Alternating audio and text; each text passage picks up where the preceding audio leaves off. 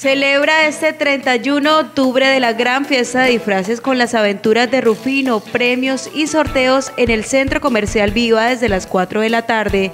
Todos los barranqueños están totalmente invitados a participar con las diferentes actividades que se realizarán en el transcurso del evento para recrear y entretener a los niños, jóvenes y adultos que asistan este 31 de octubre.